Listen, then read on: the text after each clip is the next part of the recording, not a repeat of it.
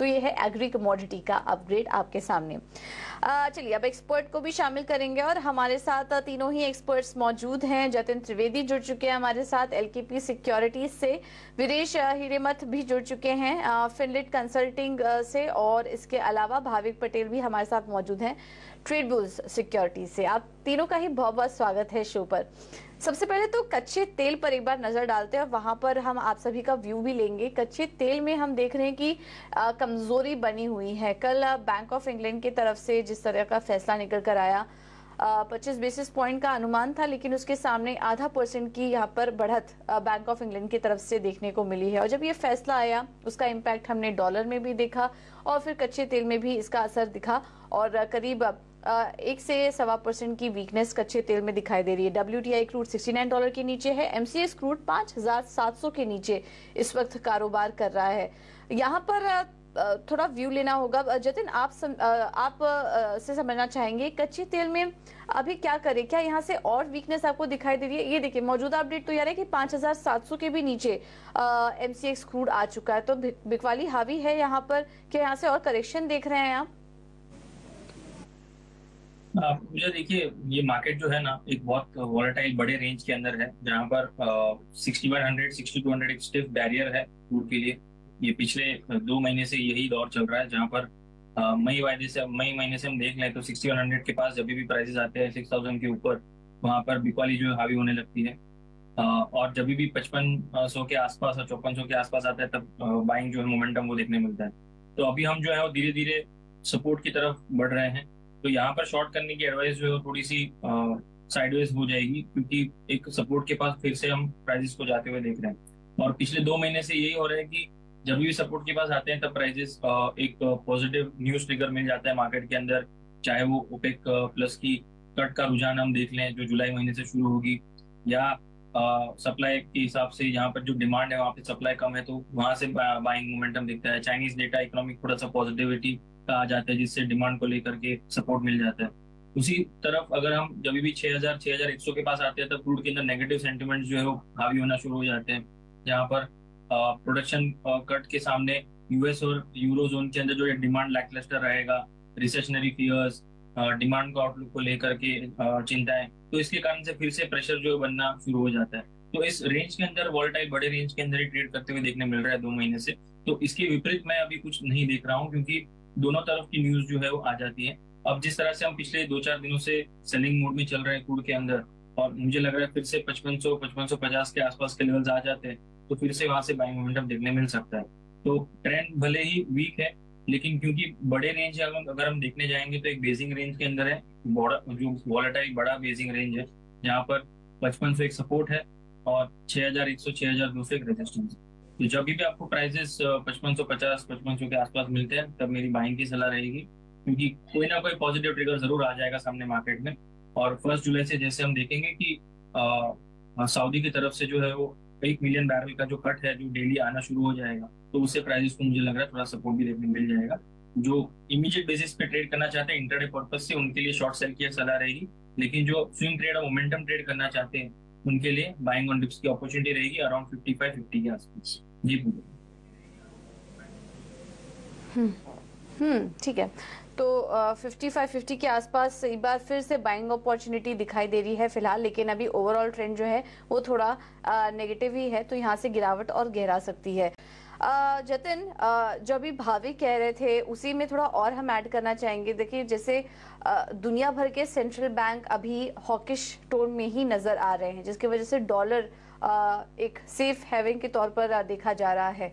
आ, लेकिन महँगाई तो जल्द कंट्रोल में आने की बात हो नहीं रही है और अभी उनका कहना है कि रेट रिवर्सल तो बहुत दूर की बात है। पहले इसको टारगेट तक लेकर आएँगे उसके बाद वो सोचेंगे कि फिर ब्याज दरों में क्या करना चाहिए। तो पॉज ले सकते हैं हो सकता है पॉज ले लेकिन ये जो दरों में बढ़त का दौर है वो बहुत जल्द खत्म होता हुआ दिखाई नहीं दे रहा है। ये व्यू दुनिया भर के सेंट्रल बैंकों का बन रहा है। तो ऐसे में अगर लॉन्ग टर्म के लिए गोल्ड और सिल्वर किसी को लेना हो तो क्या ये लेवल्स सही नज़र आ रहे हैं? आप कुछ बड़ी तेज़ी इन स्तरों से देख रहे हैं? या फिर इन्हीं रेंज के आसपास आने वाले समय में भी सेफ़ और अगर हम फेस्टिवल की बात करें अक्टूबर नवंबर की बात करें तो इसी रेंज के आसपास ही सोना दिखेगा। लॉन्ग टर्म निवेशक क्या करे इस वक्त सोने में? देखिए पूजा मार्केट कोई भी तरह का मार्केट हो, चाहे वो बिलियंस हो या करेंसी हो या इक्विटी हो, उसको क्लैरिटी जो है वो ज़्यादा पसंद आती है। किसी भी तरह का मार्केट हो क्लैरिटी जो है वो बहुत ज़्यादा पसंद आता है मार्केट पार्टिसिपेंट्स को।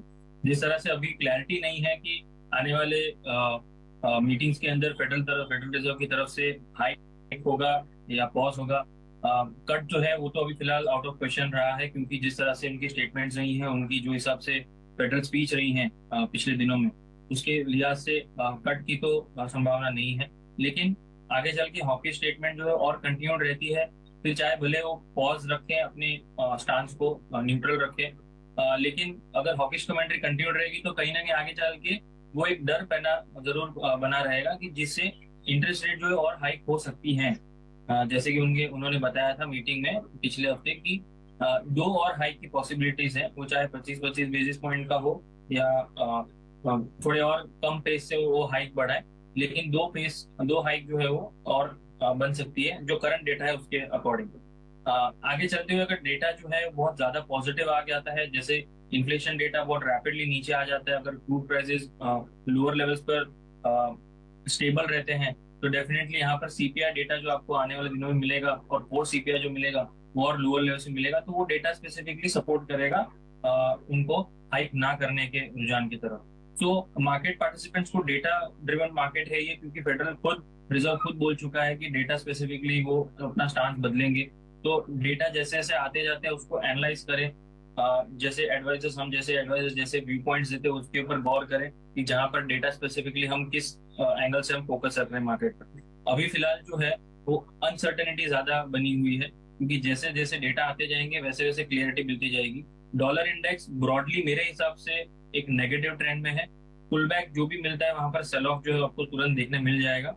अभी एज ऑफ़ नाउ जो लेवल्स मैं देख रहा हूँ, वो है अराउंड 103 103 25 के आसपास एक स्ट्रॉन्ग रेजिस्टेंस पॉइंट है। उसके ऊपर प्राइसेस ट्रेड करते हुए मुझे नहीं दिख रहे शॉर्ट टर्म के अंदर। जब भी प्राइस 103 के आसपास आएँगे, वहाँ से एक स्ट्रॉन्ग सेल ऑफ़ आपको देखने मिलेगा। और इन्वर्टेडली गोल्ड के ऊपर आपको बाइंग मोमेंटम देखना शुरू मिलेगा। इमीडिएट बेसिस पे अभी थोड़ा सा गोल्ड सिल्वर के ऊपर ज़रूर हावी है मार्केट लेकिन ब्रॉडली गोल्ड एंड सिल्वर का ट्रेंड क्लियर रहना चाहिए। आगे चलते हुए पॉजिटिव का ट्रेंड आपको दिखना चाहिए। लेकिन अभी फ़िलहाल इमीडिएट बेसिस पे जो एग्रेसिवली ट्रेड करते हैं, उनके लिए एडवाइस रहेगा कि अभी फ़िलहाल बाइंग जो है अवॉइड करें। हालाँकि आज फ्राइडे है फ्राइडे के दिन कभी भी जो पूरे वीक में जो रैली हुई है तो उसका काउंटर अटैक हो जाता है। तो आज शायद थोड़ा सा पुल बैक ज़रूर देखने मिल सकता है गोल्ड सिल्वर के अंदर। लेकिन ये पुल बैक के अंदर एग्जिट ऑप्शन एग्जिट करने का थोड़ा सा ध्यान रखें अगर जो भी लॉन्ग पोजिशन फंसी हुई है क्योंकि थोड़ा सा शॉर्ट टर्म में मुझे अभी भी पेन लग रहा है गोल्ड सिल्वर के अंदर। लेवल स्पेसिफिकली अगर मैं बता दूँ तो मेरे लिए 58,600, 58,500 एक स्ट्रॉन्ग रेजिस्टेंस पॉइंट है। वहाँ पर प्राइजेस मिलते हैं तो एग्जिट कीजिए जो अभी लॉन्ग पोजिशन है जो शॉर्ट टर्म ट्रेडर्स है उनके लिए सिर्फ़ ये सलाह है। फिफ्टी नाइन थाउज़ेंड के नीचे जब तक ट्रेड कर रहा है तब तक मेरे लिए शॉर्ट टर्म में गोल्ड जो है वो नेगेटिव है। और लोअर एंड पर fifty seven five hundred fifty seven four hundred ये लेवल्स आपको आने वाले दिनों में दिख सकते हैं। ब्रॉडली मेरा ट्रेंड पॉजिटिव है शॉर्ट टर्म में ट्रेंड जो है थोड़ा सा नेगेटिव बना हुआ जी ठीक है तो अभी कुछ क्लियर कट ट्रेंड समझ में नहीं आ रहा है। फिफ्टी नाइन थाउज़ेंड के नीचे तो जब तक बना हुआ है, तब तक यहाँ पर आगे शॉर्ट टर्म में गिरावट ही हावी रहेगी। लेकिन रिव्यू करते रहिए। शॉर्ट टर्म ट्रेडर्स जो हैं, खास करके, वो रिव्यू करते रहिए गोल्ड और सिल्वर की चाल को। और जिस तरह के ग्लोबल डेवलपमेंट हो रहे हैं, उस पर भी नज़र रखने की ज़रूरत है। और राइट आप दोनों का ही बहुत बहुत धन्यवाद। जतिन तो से तो हमारा संपर्क टूट गया है, लेकिन अविनेश जी, भाभी जी, आप दोनों का ही बहुत बहुत धन्यवाद समय देने के लिए और तमाम स्टॉक्स पर अपनी रणनीति सुझाने के लिए। माफ़ कीजिएगा कमोडिटीज पर अपनी रणनीति सुझाने के लिए। एक छोटे से ब्रेक के लिए हम यहाँ पर रुकेंगे और आप बने रहिए ईटी नाउस प्रदेश के साथ। नमस्कार।